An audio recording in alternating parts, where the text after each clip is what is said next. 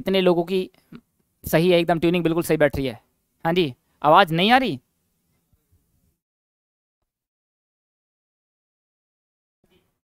ठीक है, okay okay, ठीक है, बताइए। तब देखो, ऐसा इस कॉपी को मेंटेन करके रखना। ये कॉपी आपको बहुत सपोर्ट करेगी, बहुत सपोर्ट मैंने तो देखा, आपको पढ़ाते पढ़ाते ये कॉपी बहुत कुछ सिखा के गई है, ठीक है? जब ये इतना हमें कुछ इतना सिखा सकती है तो बच्चों, आपको तो सिलेक्शन दिला सकते हैं, बिल्कुल। ठीक है ना? चलो। कोई दिक्कत? राम राम भैया जी। भोले कुमार। चलो भोले, बहुत बढ़िया। आ गई सर जी? चलो ठीक है।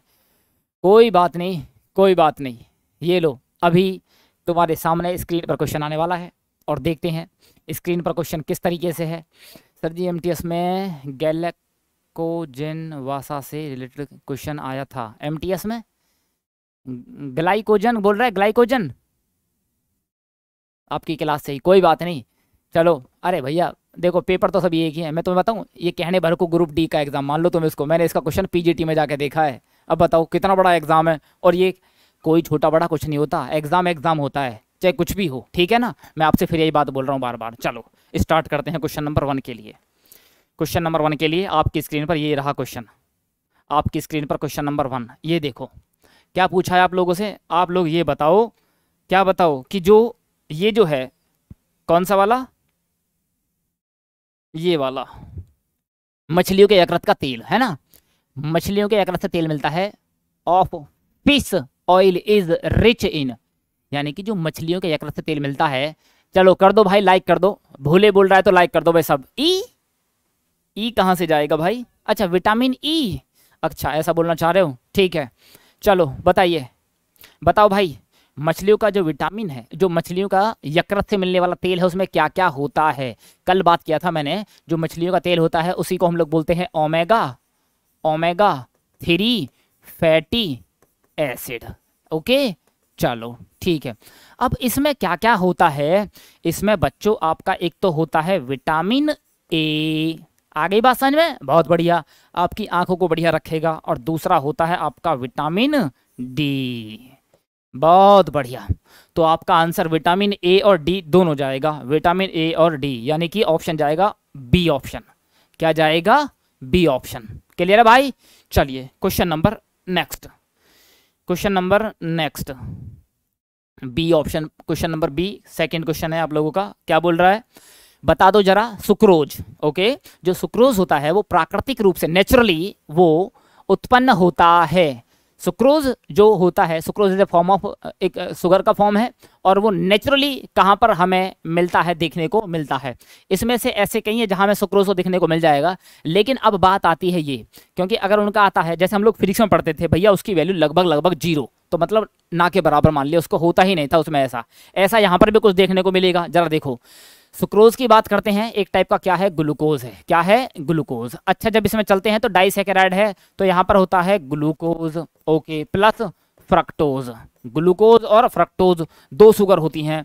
तो एक तो अब ये दूसरी बात आती है, इसमें दो तरह की शुगर है। तो ग्लूकोज से ज़्यादा भी है तो उससे ज़्यादा भी मीठा होगा ये ओके अब ये एस से सुक्रोज और एस से बोले तो इसका मतलब सुगर खीन क्या मतलब है? सुगर खीन यानी कि जो गन्ने से हमें जो शुगर मिलती है नेचुरली वो कौन सी है? वो है आपकी सुक्रोज। बात करते हैं जरा एक और, बिल्कुल। चावल की बात करते हैं, चावल में कोई सुगर नहीं होती। यहाँ पर क्या होता है? अच्छा खासा स्टार्च होता है। क्या होता है? स्टार्च होता है।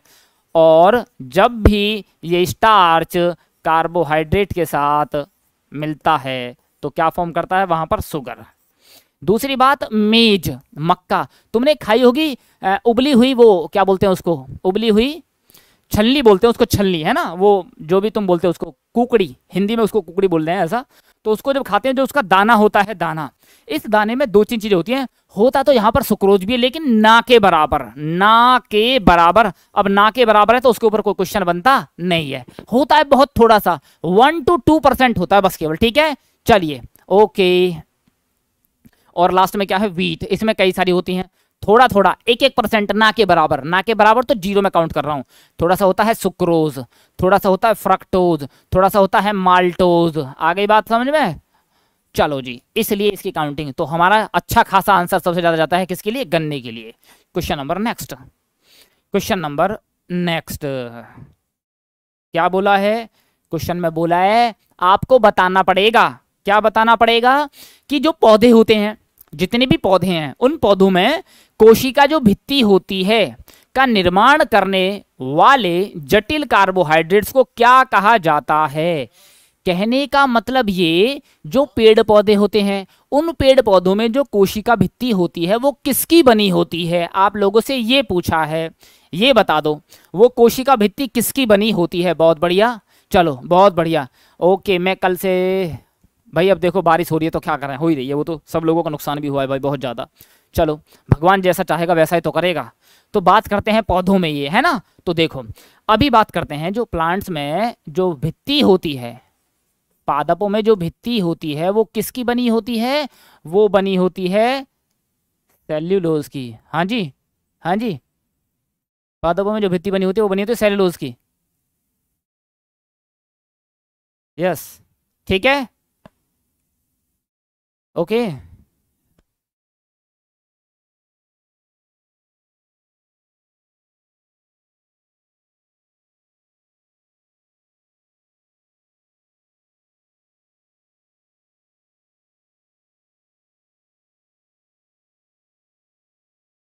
ठीक है? ओके कोई बात नहीं. ठीक है. तो पौधों में कोशिका भित्ति की बात पूछ रहा है तो पौधों में जो कोशिका भित्ति बनी होती है, यानी कि प्लांट्स में, है ना? प्लांट्स में ऐसा क्वेश्चन एक आपको कहीं ना कहीं देखने को मिल सकता है, बिल्कुल। तो पौधों में ये जो बनी होती है, ये किसकी बनी होती है? सेलुलोज की। एक क्वेश्चन। इसी के साथ में इसी का दूसरा क्वेश्चन। दूसरी बात करता है फंगस की। किसकी बात करता है? फंगस की, यानी कि फंजाई की, यानी कि कवक की। ओके, कवकों में जो बनी होती है, कैसे कवक, कैसे काइटीन की बनी होती है? किसकी बनी होती है? काइटीन की बनी होती है। तो पादपों में किसकी? सेलुलोज की। कवक में किसकी? कवक में याद रखेंगे किसकी? कवक में होती है काइटीन की। आगे बात समझ में? चलो, इसके अध्ययन को क्या बोलते हैं? इसके अध्ययन को क्या बोलोगे बताओ? इसके अध्ययन को बोलते हैं माइकोलॉजी। आगे बात समझ में जी? चलो, ठीक है। लैक्टोज आपको पता है, मिल्क में मिलने वाला शुगर है, और माल्टोज माल्ट में, ठीक है? चलिए, सुक्रोज के बारे में अभी बताया, ग्लूकोज प्लस फ्रक्टोज। चले नेक्स्ट बिल्कुल माइकोलॉजी बहुत बढ़िया।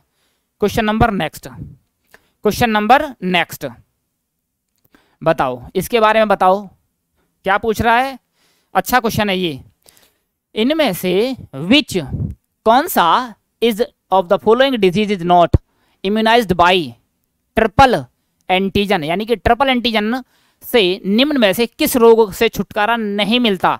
किससे मिलता है? कौन सा वाला? नीलेश, बोल दो कौन सा वाला? सर एमटीआर में डालें। कौन सा? क्वेश्चन के सामने भी तो लिखो, मुझे पता चलेगा तुम किसके लिए बोल रहे हो। फिर मुझे ये भी समझ में आता है कि शायद अगर ये बच्चे से नहीं हो पा रहे तो थोड़ा जा सकता है टफ वाला, है ना? जी, नमस्कार भैया जी। बोलो क्वेश्चन भी, बोलो कौन सा वाला डालना है? ये भी बोल दिया करो। ठीक है, बहुत बढ़िया। ठीक है ट्रिपल डी की बात करते हैं बाबू। ट्रिपल डी की बात करते हैं तो यहाँ पर आता है D P T D P T ये ट्रिपल एंटीजेंस हैं। डी बोले तो डिप्थीरिया डी बोले तो डिप्थीरिया ठीक है। आपका पी बोले तो देखो पी पी बोले तो इसी को दूसरा नाम बोलते हैं वूपिंग कफ क्या बोलते हैं? वूपिंग कफ यानी कि इसी को बोलते हैं बच्चों, काली खांसी। क्या बोलते हैं? काली खांसी। और तीसरा वाला ये, जब हमें लोहे की कोई चीज़ वगैरह लग जाती है, ठीक है क्वेश्चन नंबर फोर को डालना है, डाल दो अच्छा क्वेश्चन है। चलो अच्छा क्वेश्चन डालूँगा, अभी डाल रहा हूँ, ठीक है। चौथा क्या है? टेटनस क्या है? टिटेनस टिटेनस तो ये तो हो गया आपका ट्रिपल एंटीजन ये तो हो गया आपका ट्रिपल एंटीजन आगे बात समझ में? ठीक है। तो इसमें एक तो ये आ गया वूपिंग कफ ये आ गया, ठीक है पी ओके या डिप्थीरिया आ गया ओके टिटेनस आ गया, ठीक है? ओके, बस क्या नहीं है इसके अंदर? चौथा वाला कोई एक नहीं है, और वो कौन सा नहीं है? वो नहीं है आपका टाइफॉइड आगे बात समझ में? चलो, आगे बात करते हैं क्वेश्चन नंबर नेक्स्ट की। फोर्थ को उसमें डालना है, क्या बोलते हैं? एम टी आर में। कहाँ पे डालना है? एम टी आर में। ये लो, डाल दिया यहाँ पर एम टी आर में, ठीक है? चलो, पेंसिल से उसके ऊपर लिख देना एम टी आर चलो क्वेश्चन नंबर नेक्स्ट की बात कर लेते हैं। क्वेश्चन नंबर नेक्स्ट में क्या बोलता है? आओ जरा, देखो।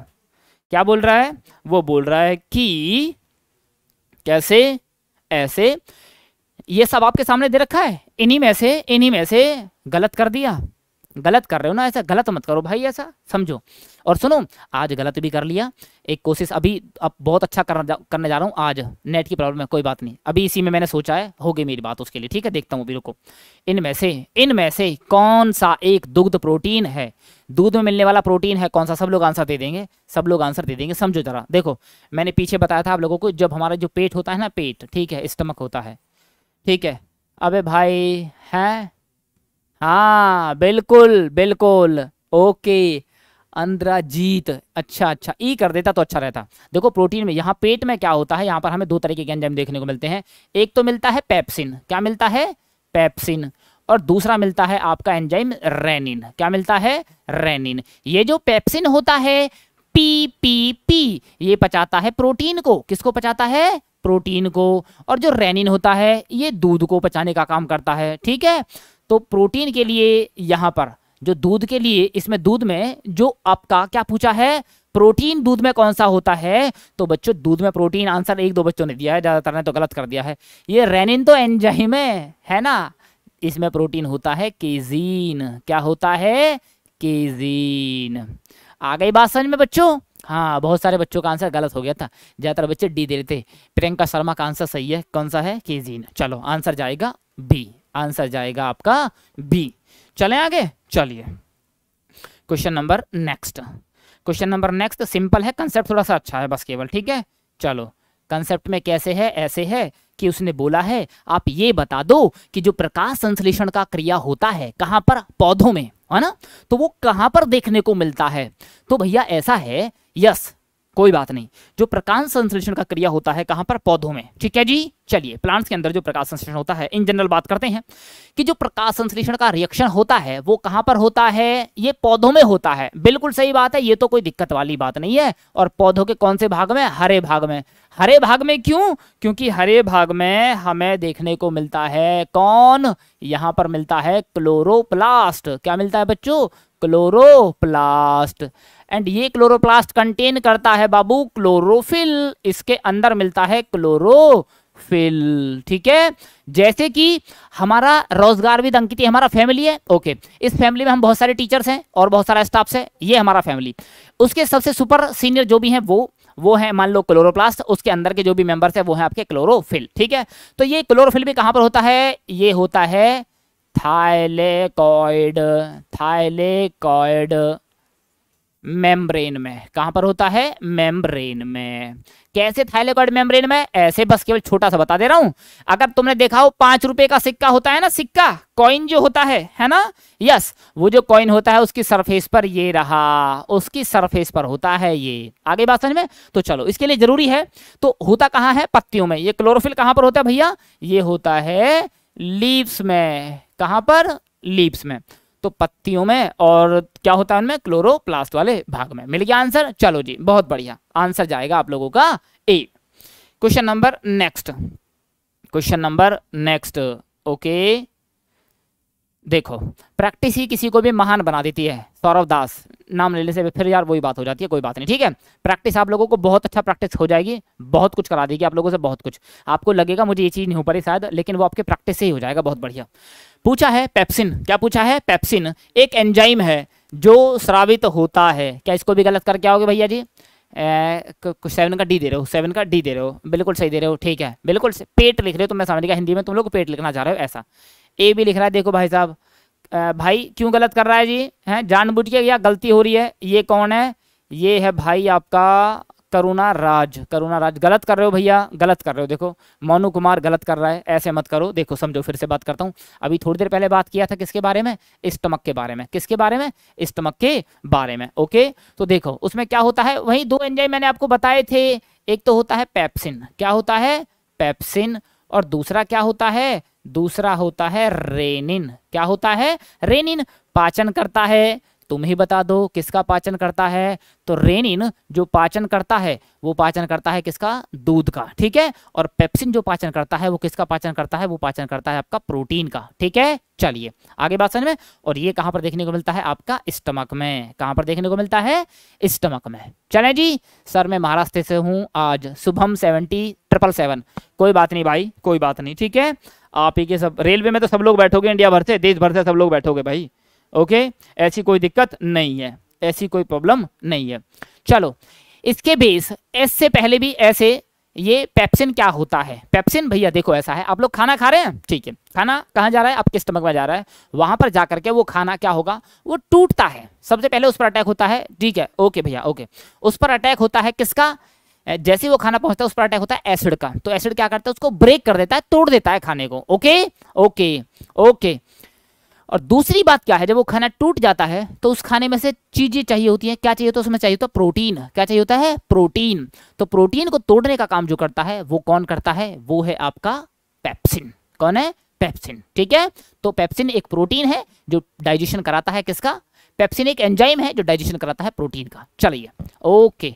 ओके, चलिए। आंसर आ गया। बहुत बढ़िया। बहुत बढ़िया आंसर आ रहा है। एक ही बार दे दो आंसर बस, ज़्यादा मत करो, है ना? चलो, एक बार आंसर दे देते हैं। देखो भैया, क्या होता है? पेड़।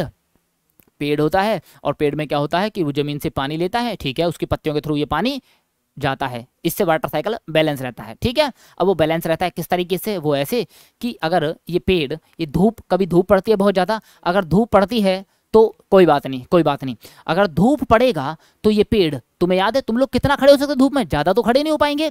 तो हम लोग जल जाएँगे। इसी तरीके से पेड़ पौधे भी जल जाएँगे। लेकिन पेड़ पौधे बचे रहते हैं क्यों? क्योंकि उनमें एक प्रोसेस चलता रहता है। उस प्रोसेस को बोलते हैं ट्रांसपीरेशन क्या बोलते हैं? ट्रांसपीरेशन और वो पेड़ पौधों को बचा के रखता है। ट्रांसपोर्टेशन नया बच्चा, कहाँ है ट्रांसपोर्टेशन ये ट्रांसपीरेशन है। क्या है ये? ट्रांसपीरेशन आगे बात समझ में? अच्छा हमारी बॉडी में भी कोई दिक्कत हो सकती है ऐसे? हाँ बिल्कुल हो सकती है। अगर हमारी बॉडी में स्वेट ग्लैंड्स नहीं है, पसीने की ग्लैंड्स नहीं है तो फिर हमारी बॉडी से क्या होगा? पसीना निकलेगा नहीं। तो बॉडी में इंटरनल हीट बनेगा। इंटरनल हीट बनेगा तो बॉडी ब्लास्ट हो सकता है इस केस में। तो स्वेट ग्लैंड्स का होना बहुत ज़रूरी है। अगर स्वेट ग्लैंड नहीं है तो फिर बॉडी को कूल रखना ज़्यादा ज़रूरी है। ओके और उस प्रोसेस को बोलते हैं परस्पिरेशन चले, आगे बात करते हैं। Question number next question number next क्या बोलता है क्वेश्चन नंबर नेक्स्ट के बारे में? ये इसने जो क्वेश्चन उठाया है ना ये जो क्वेश्चन उठाया इसने कहाँ से उठाया? एक फ्लावर से उठाया है। कहाँ से उठाया है? फ्लावर से। ठीक है? चलो, देखो। उसने बोला है कि आप लोग ये बता दो कि जो एक फ्लावर होता है ओके उस फ्लावर में क्या होता है? देखो, जैसे तुम लोग कहीं घूमने फिरने जाते हो, ठीक है? मान लो ऐसा। तो हमारे साथ में हमारी बहन जी भी होती है, मम्मी पापा भी होते हैं ओके ठीक है? बहुत बढ़िया। प्रणाम भैया जी। तो हम लोग, पता है क्या, हम थोड़ा सा एटीट्यूड दिखाते हैं। एटीट्यूड कैसे? कि ना, बहन जी, तुम एक काम करो, या मम्मी, तुम लोग ना, बीच में आ जाओ। हम लोग जो फैमिली के मेन मेंबर्स हैं ना, वो हम लोग बाहर की तरफ़ चलेंगे ऐसे। तो हम प्रोटेक्शन के लिए चलते हैं इस तरीके से। आगे बात सुनिए। तो यहाँ पर क्या पूछा है? एक पुष्प है। पुष्प में दो तरह के पार्ट हमें देखने को मिलते हैं। एक पार्ट होता है मेल पार्ट और एक पार्ट होता है भाई फीमेल पार्ट ठीक है? चलो, इस मेल पार्ट को बोलते हैं बाबू स्टेमन। क्या बोलते हैं? स्टेमन। और इस फीमेल पार्ट को बोलते हैं भाई पिस्टिल। क्या बोलते हैं? पिस्टिल और ये तीन पार्ट से मिलकर बना होता है। पहला स्टाइल, एक और इससे पहले लिख देता हूँ, इससे ऊपर लिख देता हूँ, फ़र्स्ट वन। स्टिग्मा स्टिग्मा, एक, सबसे ऊपर का। दूसरा स्टाइल, और तीसरा वाला ओवेरी। क्या है? ओवेरी। ये तीन पार्ट होते हैं। तो उसने क्या बोला है? एक पुष्प में पुष्प योनी, ओके, के शीर्ष को क्या नाम दिया जाता है? तो देखो, होता क्या है? पुष्प में ये वाला पार्ट ये टॉप वाला पार्ट ठीक है? इस टॉप वाले पार्ट को ऐसे। ये जो ट्यूब लाइक पार्ट होता है, इसको बोलते हैं स्टाइल क्या बोलते हैं? स्टाइल इस वाले पार्ट को बोलते हैं स्टिग्मा ओके और इस वाले पार्ट को बोलते हैं ओवेरी खत्म करो। तो ये होता है आपका पुष्प, योनि ये क्या करता है? मेल गैमिट आएगा, उसको ये अटैच कर लेता है। आंसर जाएगा आप लोगों का ए ओके चलो। आगे बात करते हैं। स्टेमन, वो रहा एंथरफ्लामेंट से बेलकन के मिलकर बना होता है। चलिए, क्या है? ओव्यूल। ओवेरी कंटेन करता है, ओवेरी के अंदर जो होता है, अंदर की तरफ़। वो क्या होता है? ओव्यूल होता है। और क्या है? पोलन। पोलन जो कण, अगर आपने फ्लावर देखा हो तो फ्लावर में पीले पीले से आपके हाथों में लग जाता है पोलन। उसी को बोलते हैं पोलन। चलिए, question number next. Question number next में बोल रहा है केमिस्ट्री से लिया गया क्वेश्चन है और जनरल क्वेश्चन है। कहाँ से लिया है? जरा देखो क्वेश्चन के बारे में। उसने ऐसा बोला है कि कोई एक रिएक्शन हो रही है, मान लो ऐसा, और निम्न में से कौन सा अवलोकन आप जो ऑब्ज़र्व कर रहे हैं, ठीक है, उसमें नेह निर्धारित करने में हमारी सहायता करता है कि रासायनिक अभिक्रिया हुई है या नहीं हुई है। तो हम लोगों को इस बात का पता कैसे चलेगा कि कोई रासायनिक अभिक्रिया हुई भी है या नहीं हुई है? ठीक है? चलो, बताइए, आप इसके बारे में कैसे आप लोग इसको देखते हैं? क्वेश्चन के सामने उसका क्वेश्चन भी लिख दिया करो, पता चल जाता है। तो भाई, होता क्या है? जब हम लोग देखते थे, एक तरफ़ तो होता है आपका अभिकर्मक, ओके? और दूसरी तरफ़ आपका होता है उत्पाद, यानी कि रिएक्टेंट रिएक्टेंट और प्रोडक्ट तो जब भी ये रिएक्टेंट रिएक्शन करता है, किसी के साथ में कुछ भी करेगा तो काला, पीला, लाल, नीला जैसा भी होगा, ये हो जाएगा। कलर इसका चेंज हो जाता है, पहली बात। इसका रंग बदल जाता है। होता है ना कि इंसान के पास जैसे पैसा आता है, वो रंग बदलने लगता है। उसकी प्रकृति, उसकी नेचर उसकी बोलचाल, उसका स्वभाव बदलने लग जाता है। एक बात तो इसका रंग बदल जाएगा। ठीक है? यस क्योंकि सबसे ज़्यादा रंग तो इंसान ही बदलता है भाई। चलो, दूसरी बात करते हैं। चेंज इन स्टेट हाँ उसकी स्टेट बदल जाएगी। क्या बदल जाएगी? उसकी अवस्था। क्या बदल जाएगी उसकी? अवस्था बदल जाएगी। बिल्कुल भाई बिल्कुल। अच्छा ठीक है ओके। चलो आगे बात करता हूँ नेक्स्ट वन वहाँ पर क्या कुछ ऐसा भी देखने को मिलेगा? क्या कोई गैस बनेगी या नहीं बनेगी? शायद है ना? जब होगा तो हम लोग देखेंगे वहाँ पर गैस भी देखने को मिलेगी। तो यहाँ पर ऑल ऑल ऑफ़ द ये सारे के सारे ऑप्शन हमें यहाँ देखने को मिलेंगे। चलें जी ओके। हाँ, अरुण करेंगे। करेंगे। मैं समझ रहा हूँ तुम्हारी बात को, पक्का करेंगे, बिल्कुल, ठीक है? चलो, आ जाओ। अगर एक सिर्फ़ ऐसा हो जाएगा तो तुम लोगों के साथ में थोड़ी सी दिक्कत बात बन जाएगी। चलो, समझो। चलो, मैं इधर हो जाता हूँ, जिससे कि आप लोगों को प्रॉब्लम ना आए। दिख तो सही रहा है वैसे? अब ये तो बता दो, दिख तो सही रहा है आप लोगों को? हम्म? सही दिख रहा है ना? ओके, मैं भी देख पा रहा हूँ थोड़ा सा ऐसा। क्वेश्चन में क्या बोला है? निम्न में से कौन से धातु ऑक्सीजन के साथ अभिक्रिया नहीं करते हैं? मतलब धातु है और वो ऑक्सीजन के साथ रिएक्शन नहीं करता है। देखिए, होता क्या है कि कोई भी मेटल वो जब ऑक्सीजन के साथ रिएक्शन करता है तो उस मेटल का बनता है ऑक्साइड क्या बनता है? ऑक्साइड धातु का ऑक्साइड बनता है। आगे बात समझ में? चलो ठीक है। एक बात तो ये ठीक है, पहला। एक मैं जनरल समझा रहा हूँ, कोई भी मेटल है, मान लो ये मेटल है एम इसको मैंने दे दिया एम ये क्या करेगा? ये रिएक्शन करेगा ऑक्सीजन के साथ में तो बनेगा मेटल का ऑक्साइड क्या बनेगा? मेटल का ऑक्साइड चलो ठीक है, अब इसमें से कौन कौन नहीं करते हैं? पोटेशियम और निकेल अरे बाबू पोटेशियम ऑक्साइड बनता है निकल ऑक्साइड भी बनता है। एक तो नाम आ गया, बिल्कुल। तुमने पढ़ा है रिएक्टिविटी सीरीज़ तुम लोगों ने पढ़ रखी है। कैसे पढ़ रखी है? कमल नाथ का माली, आलू, जरा, फीका, पकाता है। ओके? कौन है? आगे। आओ आओ। सबसे नीचे कौन? आओ, ए जी और ए यू। ए जी और ए यू। ये जितने बोल रहे ना, इन्होंने रट रखा है आंसर इन्होंने आंसर रखा है गोल्ड और प्लेटिनम लेकिन सुनो, सबसे नीचे ए जी ए यू ए जी और ए यू सबसे कम रिएक्टिव सबसे कम रिएक्टिव ए जी और ए यू ए जी और ए यू तो भैया होता क्या है? ना तो कभी भी ये चांदी। अगर ऐसा होता तो मैंने गोल्ड पहना होता। मान लो बहुत से लोगों को ऐसा होता है। कुछ थोड़ा बहुत मिलता है। शादी में मिल जाता है गोल्ड। उन्होंने पहना, रिंग पहना। महीने दो महीने में रिंग गायब हो गई हाथ से। कहाँ चली गई? पता चला उसका तो रिएक्शन हो गया किसके साथ में? ऑक्सीजन के साथ में। और वो टूट गया, वो फूट गया। ठीक है? चलो, अगर इसका रिएक्शन होता ऑक्सीजन के साथ में, लेकिन ना, कभी ये रिएक्शन नहीं करता। इसीलिए तो तुम्हारा जो गोल्ड वगैरह है, वो बचा रहता है। दूसरी बात, आपका ए यू ऑक्सीजन के साथ कभी भी रिएक्शन नहीं करता। चलें, आगे बात करते हैं next one question number next question number next क्या बोल रहा है? देख लो। क्या बोल रहा है? क्वेश्चन देख लो, देखो। हाँ हाँ देख नहीं रहा है, पता नहीं क्यों। देख नहीं रहा है? ऐसा क्या बात होगी भाई? देखना तो चाहिए था। हैं? चलो। ओके ओके, ठीक है। क्वेश्चन बोल रहा है ओके कोई बात नहीं, कोई बात नहीं। क्वेश्चन में बोला है हीलियम और ऑर्गन के बीच में क्या समानता है? समझते हैं। हीलियम और ऑर्गन के बीच में समानता क्या है? तो देखो भाई, ये रहा आपका हीलियम कौन है? कौन है वो?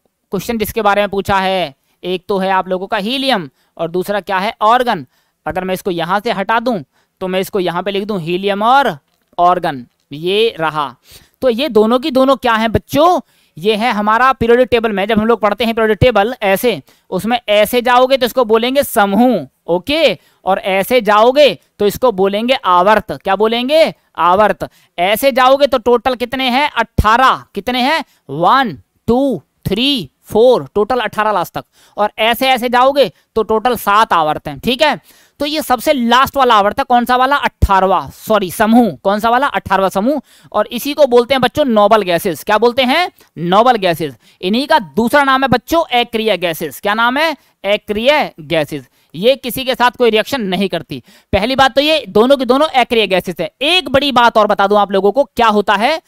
ये कहते हैं किसी के आने से कोई फ़र्क नहीं पड़ता, किसी के जाने से कोई फ़र्क नहीं पड़ता। मतलब क्या होता है? इन दोनों में फ़र्क क्यों नहीं पड़ रहा? इसलिए नहीं पड़ रहा, क्योंकि केमिकली केमिस्ट्री के सब देखें, इन दोनों में बाहरी कक्षा में पूर्ण भरी हुई होती हैं। इसके भी बाहरी कक्षा में दो इलेक्ट्रॉन पूरे भरे हुए हैं। इसके बाहरी में दो, आठ आठ, पूरा भरा हुआ है कंप्लीट ऑक्टेट कंप्लीट है। ये ऑप्शन तो है इसका, बिल्कुल इसका सही। आगे बात करते हैं, दोनों तरल धातु हैं। ना भाई, दोनों तरल धातु नहीं है। अगली बात करते हैं, दोनों धातुओं का इस्तेमाल गुब्बारे फुलाने में किया जाता है। अरे, गुब्बारे फुलाने में सिर्फ़ एक काम में आती है, कौन सी? हीलियम। कौन सी? हीलियम। ओके। और, अरे भाई, सल्फ़र की नहीं पूछा बच्चा, ऑक्सीजन की पूछा है। सोने पर चांदी सल्फ़र के साथ क्रिया करती है, एजिटोस। अच्छा तुम अपनी तरफ़ से बता रहे हो, ठीक है, कोई बात नहीं। मैंने सोचा तुम उसके बारे में बता रहे हो। ओके। दोनों विद्युत, दोनों क्या हैं?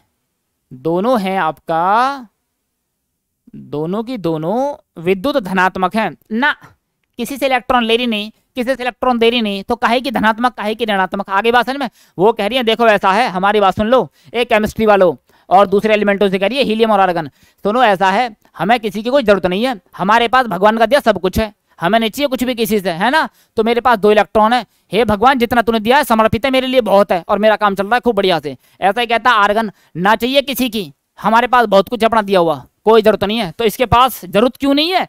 क्योंकि इनके पास अपना सब कुछ है, क्योंकि इनका भारी सेल बिल्कुल कंप्लीट है, इसलिए ना चाहिए कुछ भी। आगे बात समझ में? चलो, आगे बात करते हैं, ऑप्शन जाएगा A. Question number next. Question number next. लो। आपके जीवन, आपकी दिनचर्या से जुड़ा हुआ क्वेश्चन है वैसे तो। पढ़ते तो केमिस्ट्री में है ही हैं, लेकिन जुड़ा हुआ जीवन से ही है वैसे। क्योंकि हम लोग इसके बारे में पढ़ते हैं, सबसे ज़्यादा मेलिएबल पीट पीट के पीट पीट के, एक बहुत लंबा तार के जैसा बना देंगे, वो कौन है? वो सोना ही है। इसलिए तो सोने से सारी चीज़ें बन जाती हैं, है ना? सोना, बहुत सारा सोना। देखो, सोने में तांबा मिलाया जाता है ताकि करता है भाई, वो सुनार जो होता है, ज्वेलर जो होता है, इसी के तो पैसे कमाता है। वो क्या करता है उसमें? देखो भैया, अब क्यों ना मिलाए? ज़रूरी भी है, मजबूरी भी है उसकी, है ना? ठीक है। अगर तुमने शौक है भाई, सबको गोल्ड पहनने का शौक भी है तो हम लोग क्या करते हैं इसमें? वो क्या करता है? सोने में क्या मिला देता है? तांबा। क्या मिला देता है? तांबा मिला देता है। ठीक है जी। चलो जी, कहाँ गया? कहाँ गया? कहाँ गया रे? हाँ ये मिला दिया कॉपर। क्या मिला दिया? कॉपर या इसको बोल दिया तांबा। मिला दिया? क्यों मिलाया इसने क्या ज़रूरत पड़ गई? बड़े पूछे वहाँ पे जाते हैं जब कभी। ट्वेंटी फोर कैरेट का गोल्ड दे क्या सॉफ्ट बनाने के लिए। है? सॉफ्ट बनाने के लिए। अरे भैया, देखो, इसमें तांबा मिलाया इसलिए जाता है। ये खुद ही सॉफ्ट इतना है। ये सॉफ्ट है। देखो भैया, ये जीवन में भी हमें सीख मिलती है। जो इंसान जितना ज़्यादा सॉफ्ट, उसका पोस्ट उतना ही ऊपर तक चला जाता है। आगे बात में? ये एक सच्चाई है जीवन की। हकीकत है। बिल्कुल है ना जी? हाँ। अब इतना तांबा मिला दो, तांबा। तांबे की वैल्यू गोल्ड के बराबर कभी नहीं। क्योंकि तांबा तो ऐसा बात बात पे कोई कुछ कह दे, कोई आके तो दिखाओ, हाथ लगा कर दिखाओ, अभी तोड़ दें, अभी फोड़ दें, ऐसा। तो तांबा को इसके साथ मिलाया जाता है इसको मजबूती देने के लिए हार्डर बनाने के लिए। कहाँ गया? तांबे को इसके साथ मिलाया जाता है मजबूती देने के लिए। मुलायम तो नहीं होगा, हटाओ। चमक देने के लिए नहीं सोने में खुद इतनी चमक है। कहते हैं ना कि सोना तो उसमें भी चमकता है, क्या बोलते हैं, मिट्टी में भी चमकता है। तो पीला भी नहीं बनाना, इसको कठोर बनाने के लिए। ऑप्शन बी जाएगा इसका सही आंसर आगे बात समझ में? चलिए। Question number next question number next है, ये आप लोगों को यहाँ थोड़ी सी रिएक्शन अजीब लगेगी, लेकिन ये पहले का आया हुआ क्वेश्चन है। ये पहले कई जगह का आया हुआ क्वेश्चन है और डायरेक्ट है, इसको डाल लेना तुम लोग एमटीएस में। अगर ये जब आएगा ना वहाँ पर एमटीएस में तो तुम लोग इसको गलत कर पाओगे शायद, क्योंकि इक्वेशन है बड़ी। देखो, होता क्या है? उसने ये बोला है, क्या होता है कि जब फेरस सल्फेट के crystals ferrous sulphate ferrous sulphate के दाने दाने दाने दाने। को परख नली में गर्म कर लिया। ये परख नली है इसमें क्या कर लिया इसको? गर्म कर लिया। ठीक है, गर्म कर लिया तो कौन कौन सा उत्पाद बनेगा? कौन कौन सा उत्पाद बनेगा? बी बोल रहा है B. Ferric oxide, water, sulphur dioxide और sulphur trioxide ferric oxide, sulphur dioxide, water. नहीं, इतना तो नहीं। तो देखो, होता क्या है, इससे बनता है। फेरिक ऑक्साइड, बिल्कुल सही बात है। सल्फ़र डाइऑक्साइड, बिल्कुल सही बात है। सल्फ़र टाई ऑक्साइड तो ये एक इसमें, एक ये ये ये। तो इसमें दो ही चीज़ें हैं, सल्फ़र ट्राईऑक्साइड नहीं है। Ferric oxide, water sulphur trioxide यहाँ पर एसओ नहीं है। तो ये भी नहीं हुआ, क्योंकि एसओ नहीं है। ट्राई दे रखा है बस केवल। ये है, ये डाई है, ट्राई नहीं दे रखा तो ये भी खत्म। ये है, वाटर भी है, सल्फ़र डाइऑक्साइड भी है, और क्या है ट्राईऑक्साइड भी है। तो मुझे सबसे अच्छा ऑप्शन एक ये लग रहा है। अगर तुम कहो तो एक और लिख देता हूँ, लास्ट में वाटर। ठीक है? जब ये फेरस सल्फेट के दाने दाने दाने अगर उसमें डाल दिए किसमें डाल दिए? टेस्ट ट्यूब में। और ये केमिस्ट्री के अंदर का काम चल रहा है लैब के भीतर का काम, ठीक है? हाँ मैं, मुझे पता है, ये तुम्हें नहीं पता चलेगा। तो जब इसको तुमने गर्म कर दिया ना, गर्म कर दिया ये समझ लो, तुमने गर्म कर दिया तो जब तुम गर्म करोगे तो उसको गर्म करने पे ये iron oxide sulphur dioxide sulphur trioxide और वाटर में ये क्या कर देगा, टूट जाएगा। इसको डालो तुम एमटीआर में। किसमें डालो? एमटीआर में। तुम कोशिश करोगे और तुमसे क्वेश्चन हो नहीं पाएगा, उस समय मुझे पता है। ठीक है जी? चलो, इसलिए जब कहीं जाओ, घूमते फिरते, ठीक है, खेलते गाते, कहीं निकल जाना, एक छोटी सी चिट हाथ में फाड़ कर रख लेना पॉकेट में धर लेना कहीं भी। बस जब जाओ कि भैया सल्फ़र डाइऑक्साइड, जब फेरस सल्फेट टूटता है तो किस किसमें टूट जाता है? आयरन ऑक्साइड में टूट जाता है, सल्फ़र डाइऑक्साइड में टूट जाता है और सल्फ़र ट्राईऑक्साइड में टूट जाता है। आगे बात समझ में? चलो जी। ओके, आगे बात करते हैं next question number next question number next में क्या बोल रहा है? देखो जरा, क्या है? ऐसा बोल रहा है। कैसा? ऐसा। ऐसा। कि क्वेश्चन में जो दे रखा है उसने, वो ये दिया है। कि कोई सॉल्ट है है ना? सॉल्ट बोले तो लवण है, ठीक है। तो उसका पीएच दे दिया कितना? चौदह। कितना दे दिया? चौदह। ठीक है, इसका क्या मतलब है? क्या कहना चाह रहा है वो? है? उसका पीएच जो है चौदह है तो चौदह से उसे क्या समझ में आ रहा है? कुछ दिखाई दे रहा है उसको क्या? है? क्या दिखाई देगा उसको चौदह से ऐसा? चौदह से तो कुछ दिखाई देगा नहीं ऐसे तो है? तो बताओ, क्या दिखाई देगा? तो यह लवण है, कैसा? अगर ये चौदह है तो हम लोग बोलते थे ज़ीरो टू फोर्टीन, यहाँ अगर सात है तो न्यूट्रल, इसका तो कुछ है नहीं, ठीक है? इससे नीचे सब एसिड, है ना? एसिड, यानी कि अम्ल। ओके, और इधर हैं सब क्षार, कैसे हैं? क्षार। आ बात समझ में तो जब ये फोर्टीन की बात कर रहा है तो बच्चों, ये स्ट्रॉन्ग बेस है। कैसा है ये? प्रबल बेस प्रबल बेस ये प्रबल बेस है, समझाता हूँ। लिखना पड़ेगा तेरह तुम्हारा। चलो लिख लिया मैंने तेरह। ओके चलो। ठीक है जी? चलो। क्या है ये? चौदह है स्ट्रॉन्ग बेस है। तो यहाँ पे क्या लिखा है? वीक बेस काटो पहला ऑप्शन वीक एसिड बिल्कुल सही बात है। काटो। स्ट्रॉन्ग बेस है वीक नहीं है। ठीक है? स्ट्रॉन्ग एसिड है क्या? ना। काटो इसको भी। स्ट्रॉन्ग एसिड है क्या? नहीं। स्ट्रॉन्ग बेस है क्या? ये बात सही है, ये बात गलत है। वीक एसिड है क्या? स्ट्रॉन्ग बेस है स्ट्रॉन्ग बेस भी है वीक एसिड भी है। ठीक है? वीक एसिड है हाँ लेकिन वीक बेस है क्या? ना। आंसर क्या जाएगा? आंसर जाएगा सी क्या जाएगा आंसर सी चलो।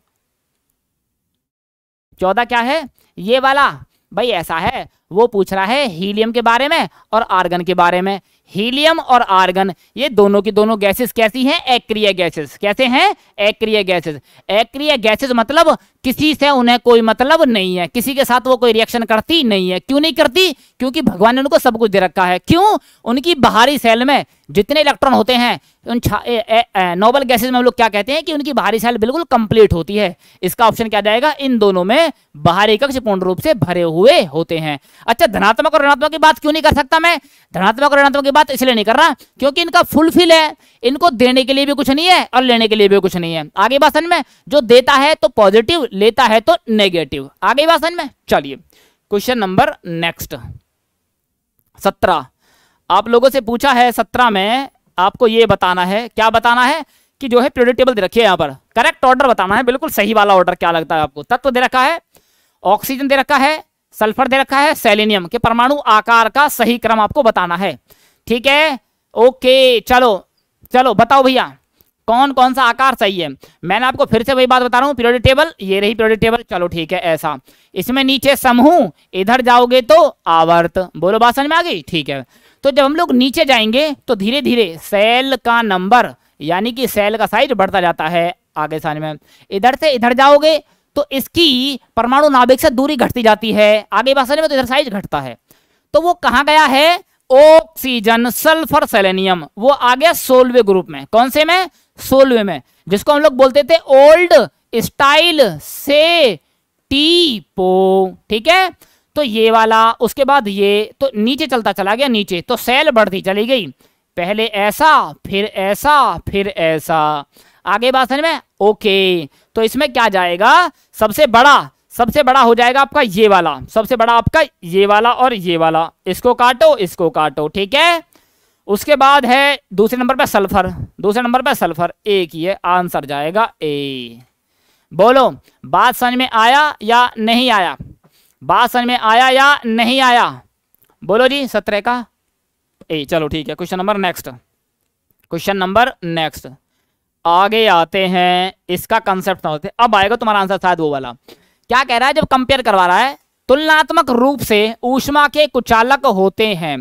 तुलना करवा रहा है, तुलनात्मक रूप से ऊष्मा के कुचालक होते हैं। तो क्या होता है? अच्छा ऊष्मा के कुचालक, यानी कि पुअर, बहुत कम कंडक्टर कंडक्टर ना के बराबर है, किसके? हीट के। अच्छा इसका कंसेप्ट क्या है? अगर कोई हीट का कंसेप्ट नहीं है। मतलब हीट का कंडक्टर नहीं है तो क्यों? जैसा समझते हैं, कुचालक है। क्या है वो? कुचालक। सुचालक नहीं है, इसका मतलब क्या है कि वो, देखो, गाँव में बोलते हैं इस भाषा को इकल खांडा, है ना? अकेला या अकेला रहना, ऐसा। तो इसमें क्या होता है? बिल्कुल इसमें भी ऐसा ही है कि भाई, यहाँ पर क्या है? ये पूरा का पूरा है, यहाँ पर इसके अंदर ये, इसके पार्टिकल्स हैं। तो यहाँ पर क्या होगा? जो हीट इसको मिलेगा, मान लो इसको हीट मिला ये इसी के पास रहेगा, इसी पार्टिकल के पास। ये दूसरे के पास ट्रांसफ़र नहीं होगी, इससे इसको ट्रांसफ़र नहीं होगी। और जब ये एक दूसरे को ट्रांसफ़र नहीं होगी तो ये हीट का अच्छा कंडक्टर भी नहीं होगा। तो ऐसा हमें देखने को मिलता है किस किसमें? देखो कॉपर है ना? कॉपर क्या है? बहुत अच्छा मेटल है, करता है ट्रांसफ़र चांदी हीट का बिल्कुल गर्म होता है, और सभी जब तो सुनार ज्वेलर बना देता है बढ़िया बढ़िया चीज़ें। सोना भी ऐसा ही है। आयरन लोहा गर्म नहीं होता। लोहा इतना गर्म है, गर्म लोहा है, भट्टी में डाल दो, कुछ भी कर दो। और ये भी मेटल अब एक ही बचता बस केवल मरकरी और कौन है? लेड तो अब यही ऑप्शन जाएगा आप लोगों का। ठीक है जी? आगे बात समझ में? चलिए। आगे बात करते हैं। Next question question number next ले रहा हूँ भाई, ले रहा हूँ। ले रहा हूँ। जैसे मैंने थर्टीन लिया था, फिर दोबारा एक बार और ले लूँगा ऐसे बीच में से। ठीक है? क्वेश्चन भी हो जाएगा, मेरा भी क्वेश्चन हो जाएगा, तुम्हारा भी क्वेश्चन हो जाएगा। ठीक है? ओके मुझे आ, नहीं। हाँ कौन सा वाला क्वेश्चन नाम बोल दो उसका एक बार जरा। नाम बोल दो पहले उसका एक बार जल्दी से। ठीक है? चलो। नाम बोलो उसका। नाम बोलो भाई क्वेश्चन जो तुम्हें समझ में नहीं आ रहा ऐसा लग रहा है तो। समझो इसके बारे में। पूछा है आर्द्रता अभी जैसे कल बारिश हुई है। कल बारिश हुई तो नमी आ गई है नमी। ठीक है? और इस नमी के आने से क्या है भैया? आर्द्रता ठीक है? को मापने वाला उपकरण कौन सा है? अब यहाँ पे तो लिखा हुआ है ऐसा, है ना? तब वहाँ पर जो पेपर में आएगा, ये चीज़ें इसने नहीं देनी थी। ये नहीं लिखी होती भाई साहब। अब जब इतना लिखा होता है तो बच्चा पहचान लेता है। ओके, ये तो समझ में आ गया। अब अगर तुम्हें ऑप्शन मिल गया ऐसा, तुम बड़े किस्मत वाले हो तो इसको चाट डालो, बिल्कुल खा जाओ इसको मतलब ठीक है? तो इसको बोलते हैं हाइग्रोमीटर क्या बोलते हैं? हाइग्रोमीटर जिससे हम लोग क्या नापते हैं? नमी को। दूसरा है थर्मोमीटर जिससे हम लोग किसको नापते हैं? तापमान को। तापमापी होता है। बहुत बड़े लेवल का टेम्परेचर नापना होता है तो उसको बोलते हैं पायरोहेलियोमीटर ओके और ये क्या है? एनिमोमीटर हवा का वेग नापना होता है। बारिश के बाद हवा चलती है, ठीक है? तब उसको हम लोग नापते हैं मतलब हवा कैसी भी हवा सही, बिल्कुल उसका वेग नापते हैं, वो है एनिमोमीटर चलें question number next question number next एक बच्चे का कंसेप्ट मैं वहीं पर लूँगा, अभी आएगा वो बिल्कुल। और उनका एक क्वेश्चन था, मैं लूँगा, वहाँ पर देख रहा हूँ। ठीक है? चलो, आगे बात करते हैं। क्या बोल रहा है? एक क्रीम सेपरेटर में दूध को वसा से अलग किया जाता है। देखो, हमारे घरों में भी क्या करती हैं? मम्मी दूध वगैरह निकालती हैं। दूध से घी निकालने का प्रोसेस क्या है? फिजिक्स का कंसेप्ट है। कैसे? कि जब वो चलता है, ऐसा समझो, ये मटकी है। वो कान्हा वाला कंसेप्ट है, कान्हा। आ जा जरा, मटकी, खा जा जरा, ऐसा ऐसा। तो जब ये चलता है ना इस तरीके से मान लो ये रस्सी लगी हुई है इसके ऐसे ऐसे रस्सी लगी हुई है ये घूमेगा तो ये घूमता है इस तरफ़ तो इसमें मान लो सारे में आपका आ, वो मिल्क है अब ठीक है? तो क्या होगा? ये ये वाला ये वाला इधर भागेगा सब कुछ ये घी जो है ना इस तरफ़ भागता है बाहर की तरफ़।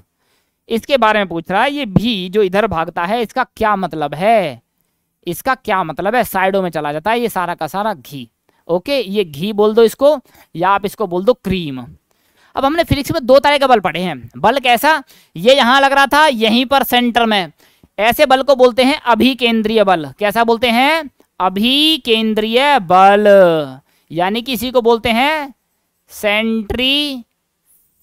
कौन सा है? मेरे पास एक तो सेंट्रीपिटल है। यस, इसको बोलते हैं सेंट्रीपिटल।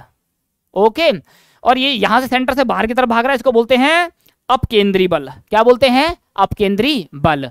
सेंट्रीपिटल। बाबू सेंट्रीपिटल नहीं केंद्राभिमुख नहीं। यहाँ गलती हो गया गलती कर दिया। ओके चलो।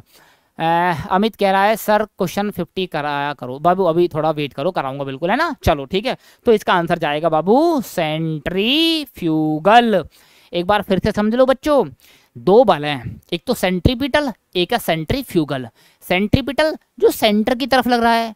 सेंट्रीफ्यूगल जो अवे फ्रॉम द सेंटर लग रहा है, ठीक है? सेंट्रीपिटल सेंटर की तरफ़, centrifugal away from the centre जो सेंट्रीपिटल है, उसी को बोल रहे हैं केंद्राभिमुख। केंद्र की तरफ़ उसका मुख है ओके और जो दूर है, उसको बोलते हैं अपकेंद्री। एक को बोलते हैं अभिकेंद्री।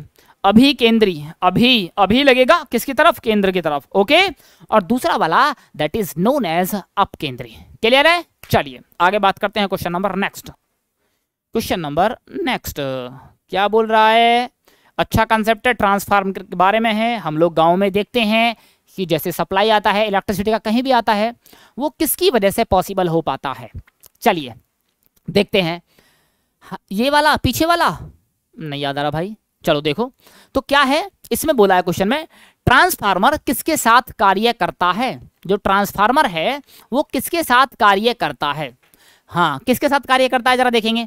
पहला ऑप्शन दे रहा है अल्टरनेटिंग करंट यानी कि एसी के साथ करता है केवल, दूसरा बोल रहा है डीसी के साथ करता है केवल, तीसरा बोल रहा है एसी और डीसी दोनों के साथ करता है। ओके ओके, और अगला क्या बोल रहा है? एनी सिग्नल किसी सिग्नल के साथ काम करता है। बच्चों देखो, हम लोगों ने क्या पढ़ा है कि जो हमारे गाँव में ट्रांसफार्मर होता है, जब बाहर से लाइट आती है ना, बाबू एसी डीसी दोनों नहीं डायरेक्ट करंट सीधी कैसे भेज दोगे? तुम्हारे घर के फ्रिज वगैरह सब फूक जाएँगे ऐसे तो। है ना? तो होता क्या है? जब एसी यानी कि इसमें बेसिकली एसी के बारे में हम लोग क्यों बात कर रहे हैं? हाँ मैं फिर से बता रहा हूँ कि हाँ बिल्कुल बिल्कुल। हाँ जी। चलिए तो देख अच्छा अच्छा। ठीक है ठीक है। देखो बात क्या है? बात ये है कि जब ट्रांसफार्मर ऐसे समझो मान लो यहाँ पर ट्रांसफार्मर रखा हुआ है ठीक है और यहाँ पर आ, कोई यहाँ पर यहाँ से लाइट आ रखी है इस तार से ये ट्रांसफार्मर है। क्या है ये? ट्रांसफार्मर ठीक है? तो यहाँ पर क्या होता है? इसमें दो कॉइल्स होती हैं। कितनी कॉइल होती है यहाँ पर? दो कॉइल होती हैं। वन और टू तो बाबू, इसमें क्या होता है? इसमें होता है फ्लक्स में परिवर्तन। क्या होता है? फ्लक्स में परिवर्तन। क्यों? क्योंकि ये लाइट को उस लेवल से पहुंचाता है जितनी उसको चाहिए होती है गाँव में, उस तरीके से, ठीक है? तो ये क्या करता है? उस फ्लक्स में परिवर्तन करता है। उसकी वजह से, उस फ्लक्स में परिवर्तन की वजह से उसकी दूसरी वाली कॉइल होती है, बराबर वाली कॉइल इसमें परिवर्तन की वजह से यहाँ पर करंट डेवलप होती है। अगर ये फ्लक्स में परिवर्तन ना करेगा तो इस कॉइल में कभी भी करंट नहीं बनेगा। नहीं बनेगा तो इस कॉइल में लग जाएगी आग और ट्रांसफ़र जाएगा फूक। आगे बासन में, इसलिए ये हमेशा काम करता है कहाँ पर? ये काम करता है एसी पर। किस पर काम करता है? एसी पर क्यों काम करता है? क्योंकि एसी में फ्लक्स में परिवर्तन होता है। उस फ्लक्स में परिवर्तन की वजह से दूसरी कॉइल में जाता है इंडक्शन क्या जाता है? अभी, अब जो इसका इंडक्शन जाता है, अब उसी की वजह से कॉइल दोनों जगह क्या बनाती है? करंट बनाती है। और हम इसमें अलग पढ़ेंगे ट्रांसफार्मर दो तरीके का, जो करंट को बढ़ाने का काम करता है और कभी करंट को घटाने का भी काम करता है। आगे बात समझ में? चलो। थैंक यू भाई थैंक यू अन्नू ओके चलें। ओके चलिए, बहुत बढ़िया। कोई बात नहीं। क्वेश्चन नंबर नेक्स्ट बात करते हैं। अच्छा क्वेश्चन है, आपके सामने है कि अर्थ है। क्या है? अर्थ। अब उस अर्थ में क्या होता है, देखेंगे जरा। चलो, ठीक है। हाँ। ज़्यादा है? ऐसा तो नहीं है लग रहा यार। ये वाला बताओ कि पृथ्वी पर शरीर का वज़न अधिकतम कहाँ होता है? बताओ जी। पृथ्वी पर अधिकतम वज़न कहाँ पर होता है? शरीर का अधिकतम वज़न कहाँ पर होता है? ए। अब इस क्वेश्चन के बारे में कितने बच्चे दो मिनट देखता हूँ, बस केवल थोड़ा सा देखता हूँ। रोहन लाल ए, okay okay okay okay, Arun और अनिल। अनिल और अरुण भी देखेंगे, जरा क्या आंसर देते हैं, मैं एक बार देख लेता हूँ। ए, ठीक है, चलो, ठीक है। ओके, चलो, थोड़ा जल्दी से करो पुश करो, ऊपर की तरफ़ करो जल्दी से। ओके, ए ए, चलो चलो चलो चलो, करता हूँ। एक मिनट देखता हूँ। भाई, ये ऊपर करना, थोड़ा सा इसका कमेंट कर ले एक बार। बस बस यहीं रुक दो थोड़ी देर के लिए। चलो। हाँ जी, बताओ। जल्दी, एक बार देख के आंसर दे दो भाई। जल्दी बता दो। जल्दी बताओ, जल्दी। क्या हो जाएगा? ठीक है, मैं देखूँगा, अभी बताऊँगा। Equator equator equator. अभी तक तो। चलो, और बोलो, कोई एक आध बच्चा और बोलो। देखो, समझो मेरी बात। ऐसा है। कि ये है अर्थ। क्या है? ज़्यादा वैसा हो गया। ये है बच्चों आपका अर्थ। क्या है ये? अर्थ। चपटा सा ये अर्थ है, ठीक है? ये मान लो इसका सेंटर मान लिया यहाँ पर, ठीक है? ये यहाँ से यहाँ। ये क्या है? ये है मान लो पोल, ध्रुव है। और ये क्या है भैया? ये है आपका इक्वेटर क्या है? भूमध्य रेखा।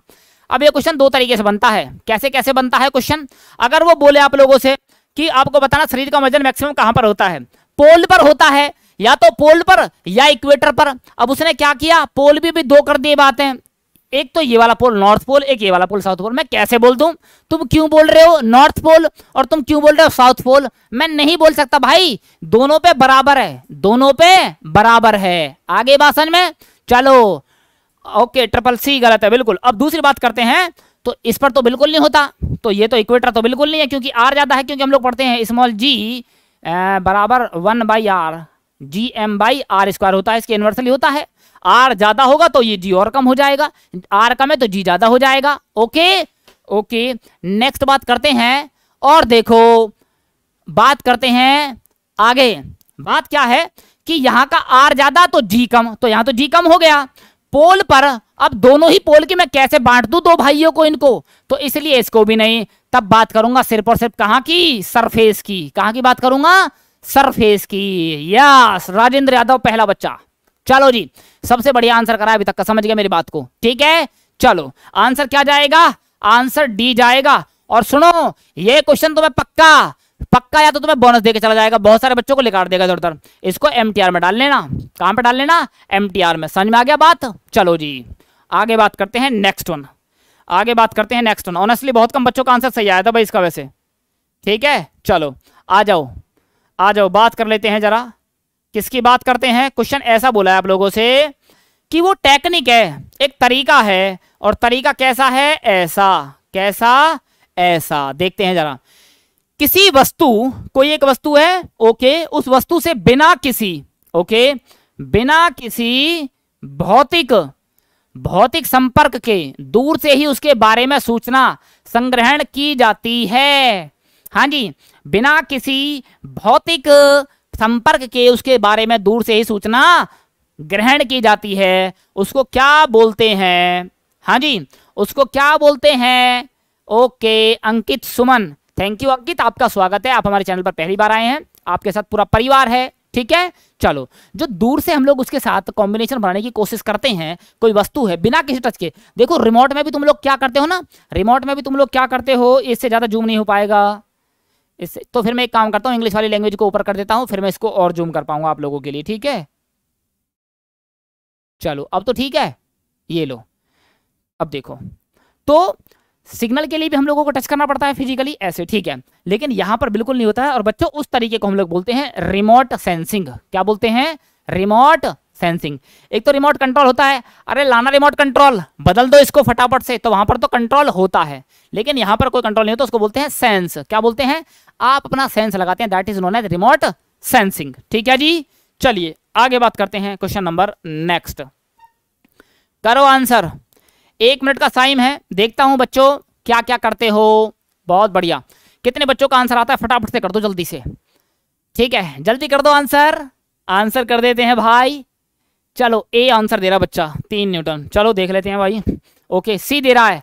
सी दे रहा है। ओके भाई ग्रेटर नोएडा से ही है, यहीं से है वैसे, है ना? कोई बात नहीं। चलो जी, कोई बात नहीं। देखो क्वेश्चन को समझो क्या बोल रहा है। क्वेश्चन में ये बोल रहा है, तुम देखोगे तो बात समझ में आएगी। बात समझ आएगी कैसे? ऐसे, देख लो एक बार। हाँ एक ज़ीरो पॉइंट नाइन किलोग्राम की वस्तु पर एक बल है। एक बल दस सेकंड के लिए आरोपित होता है, उस पर डाला जाता है। ठीक है? यदि वस्तु 250 मीटर की दूरी तय करती है, ओके? 250 मीटर की दूरी तय करती है। जी, बिल्कुल। तो बल का परिणाम बताना है। समझो? कैसी बात है? ऐसी बात है, ये देखो। यस यस, आ गया। एक बच्चा आ गया, बहुत बढ़िया। आठ बजे से नौ बजे तक क्लास होती है जनरली। देखो, ये मान रहा है ऐसा कि ये कोई, क्या है? ये एक बॉडी है, ये बॉडी है। इसका मास दे रखा था 0.9 किलोग्राम 0.9 किलोग्राम, ठीक है? इस पर कोई बल लगा दिया, ठीक है? ये लगा दिया बल, ओके। तो ये बल कितना है? कितना टाइम के लिए लगाया? दस सेकंड के लिए। टी बराबर टेन सेकंड के लिए लगा दिया, ठीक है? चलो तो बताना है, दस सेकंड के लिए आरोपित होता है। यदि वस्तु 250 मीटर की दूरी चली गई तो ये बॉडी यहाँ से और यहाँ तक। ये लो, ये चली गई बॉडी कितनी चली गई 250 मीटर। कितनी चली गई? 250 मीटर चली गई। तो बल का परिमाण पूछा है। बल का परिमाण, यानी कि बल ही पूछा है। क्या पूछा है? बल। और बल से मुझे याद आता है बलमा। क्या याद आता है? बलमा। ये वाला बल मा ओ बलमा। तो मेरे पास ये पूछा है ये तो मेरे पास है। अगर मुझे ये मिल जाए तो मेरा काम बन जाएगा। बहुत बच्चों का आ गया, समझो जरा। तो F बराबर एम में, मुझे बस केवल ये चाहिए बच्चों। मेरे पास S है। क्या तुम कहो तो मैं ये वाली इक्वेशन लगा दूँ एक बार? एस बराबर एस बराबर u t plus half a t square क्यों? क्योंकि प्रारंभ में कोई वेग नहीं था, कैसा था? ज़ीरो। तो ये प्रारंभिक वेग क्या हो जाएगा? ज़ीरो। और मेरे साथ तुम, अगर मैं ज़ीरो तो तुम भी ज़ीरो। तो ये भी क्या हो जाएगा? Total value zero. टी भी क्या? जो भी था, मुझे कोई मतलब नहीं है। प्लस एक बटे दो इंटू ए इंटू ए तो निकालना है यहाँ से। ए निकालना है। टी टी कितना है? दस। दस गुणा दस कितना हो गया? सौ। काटा पचास। आ गया? तो एस बराबर। और एस की वैल्यू एस की वैल्यू कितनी? ढाई सौ। कितनी? ढाई सौ। जो यहाँ गुणा में होता है, इधर कहाँ जाएगा? डिवाइड में। इससे इसको काटो पाँच बेर। ए की वैल्यू आ गई बच्चों पाँच। क्या आ गई? पाँच। धर दो इसमें। एफ़ बराबर एम की value point nine into a की वैल्यू कितनी आ गई? ए की वैल्यू पाँच। नौ पंजे पैंतालीस। फोर पॉइंट फाइव न्यूटन बहुत बढ़िया। करा रहा हूँ बाबू? चलो। बोलो, समझ में आया? इतने दिल विल मत बनाओ, ये सही नहीं है। चलो। चलो जी, ठीक है भाई। कोई बात नहीं। लो, एक और क्वेश्चन लो। अगला क्वेश्चन है? ये अच्छा क्वेश्चन है भाई। ये थोड़ा अच्छा क्वेश्चन है, थोड़ा समझना। मुझे थोड़ा साथ देना। ठीक है भाई दोस्तों, मुझे साथ देना थोड़ा सा। चलो। जब तुम लोग साथ दोगे तो काम बन जाएगी बात। बढ़िया क्वेश्चन बोल रहा है। कैसे बोल रहा है क्वेश्चन ऐसे बोल रहा है कि जो है ना, एक बंदूक है और एक बंदूक से पॉइंट वन किलोग्राम की गोली। ओके, ये गोली निकल रही है। ओके, सौ मीटर प्रति सेकंड की रफ्तार से छोड़ी जाती है। जैसे गोली चलाई तो गोली निकली तो तुम्हें पता है गोली पीछे भी बैक मारती है हल्का सा हाँ तो ये गोली पीछे जाती है। बंदूक का द्रव्यमान दे दिया इतना, बंदूक का द्रव्यमान दे दिया इतना। प्रतिक्षेप वेग क्या होगा? तुमने जो गोली छोड़ी, वो पीछे जाने वाला वेग क्या होगा? Zero point two. देख लेता हूँ। सही बोल रहा है वैसे यार, बिल्कुल सही बोल रहा है। देखो, अरुण, टेंशन मत लेना। ना भी होगा तो बिल्कुल करा दूँगा, ठीक है? बिल्कुल टेंशन करने की बात नहीं है। देखो, क्या बोल रहा है? इसमें ऐसा पूछा है कि ये जो गोली है ना, बंदूक, ये जो बंदूक है, बंदूक सही नहीं बनी भाई। क्या करें? इनका कोई मतलब ही नहीं है। ऐसा ऐसा बना ली, चलो गोली बना ली, ऐसी ऐसी, ठीक है? तो ये रही गोली और ये रही बंदूक, ठीक है? चलो बंदूक का मास मान लिया कैपिटल एम और इस गोली का मान लिया स्मॉल एम ठीक है? चलो। अब जब ये गोली इसमें से निकल जाएगी, एक तो उसके पहले की बात है, अभी तो गोली चली नहीं है। एक दूसरी बात है, जब ये गोली चली जाएगी, ऐसी बात। ठीक है? चलो। ओके, चाहिए। अभी मिलेगा। पप्पू यादव, रुको बाबू। ठीक है। तो देखो, इसमें क्या करना है बस केवल। पहले का संवेग, गोली चलने से पहले का संवेग और गोली चलने के बाद का संवेग। ये दोनों को कर देंगे बराबर, आपका काम चल जाएगा। रिकॉइल वेलोसिटी हमें जब ही तो मिलेगी। बिल्कुल सही बात है। बिल्कुल, ठीक है? तो देखो, क्या बोलते हैं? बड़े वाले का एम इंटू बड़े वाले का वी छोटे वाले का एम इंटू वी तो देखो, बंदूक ये रही बंदूक का वेग, या बंदूक का वेग क्या है? कैपिटल मास, कैपिटल एम उसका वेग स्मॉल वी अभी बंदूक यही है कहीं नहीं भागी तो वो वेग हो जाएगा आपका ज़ीरो क्या हो जाएगा? ज़ीरो दूसरी बात, गोली भी यहीं पर है। अब गोली यहीं पर है तो उसका मास कुछ है और उसका वेलोसिटी कितना? ज़ीरो तो ये भी कितना हो जाएगा आपका? ज़ीरो तो गोली चलने से पहले बंदूक का और गोली का वेग ज़ीरो यानी कि प्रारंभ में संवेग कितना बच्चों? ज़ीरो दूसरी बात दूसरी बात क्या है? जब गोली चल गई तो इसके पास कुछ वेग आ गया। तो दूसरा फिर से, ये गोली का वेग स्मॉल एम इंटू वी जब गोली चल गई तो अब उसका वेग देखो, गोली का वेग आ गया हंड्रेड कितना आ गया? Hundred plus. दूसरा, बंदूक का। जब गोली चल गई तो बंदूक गई पीछे। पीछे गई तो उसका, वही तो पूछा है। एम उसका मास कितना दिया बंदूक का? Zero point one. कितना दिया है?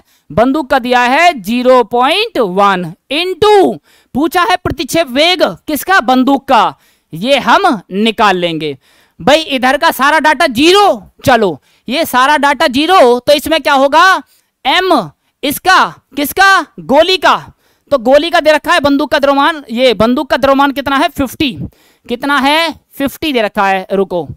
बंदूक का दे रखा है फिफ्टी बंदूक का दे रखा है आपका फिफ्टी ओके और गोली का है आपका that is that is zero point one दोनों के लिए पॉइंट वन मल्टीप्लाई करेंगे तो कैसे करेंगे? ये आ जाएगा आपका v, यहाँ से फाइंड करेंगे, ये मल्टीप्लाई में, ये इधर जाएगा तो ये आ जाएगा लगभग लगभग आपका दैट इज़ एक मिनट रुक जाओ जरा इसको। इसको जब हम लोग टोटल को सोल्व कर देंगे तो ये आ जाएगा point one into hundred divide by fifty पचास दूनी सौ, दो एक दो। ये आ जाएगा पॉइंट टू कितना आ जाएगा? पॉइंट टू आपका क्वेश्चन कौन सा जाएगा? पॉइंट टू इस क्वेश्चन को मैं एक बार फिर से ले लूँगा। ठीक है भाई? चलो, जिस बच्चे का क्वेश्चन रह गया था, मैं उसको कर लूँगा। रह किसी का नहीं, वो पीछे वाला था। थोड़ा सबर करो, थोड़ा सा और वेट करो, बस करो। चलो, आज की क्लास को यही समाप्त करते हैं। कल फिर आएँगे आप लोगों के लिए एक अच्छी, बेहतरीन क्लास लेकर के। कोशिश करेंगे हर दिन आप लेकर बहुत अच्छा लाया जाए। आपका पेपर इसी में से लगभग लगभग पूरा का पेपर आ जाए, ठीक है? ऐसी भगवान से उम्मीद करते हैं। तब तक के लिए मुस्कुराते रहिए, हँसते रहिए, पढ़ते रहिए। जय श्री राम राधे राधे ठीक है